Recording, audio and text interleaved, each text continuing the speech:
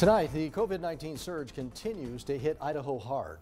That's because of that, the Southeastern Idaho Public Health has decided to keep its ISU drive-through testing site open Monday for Martin Luther King Jr. Day. Now, the site is located at the Eames Complex on Alvin Ricken Drive. It will be open from 9 a.m. to 4 p.m. with both PCR and rapid tests available.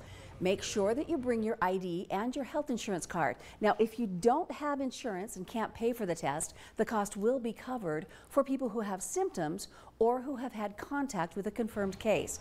But can't cover the cost of testing for travel or routine business screenings. Now, while a testing site will be open, the CIF COVID hotline will be closed on Monday.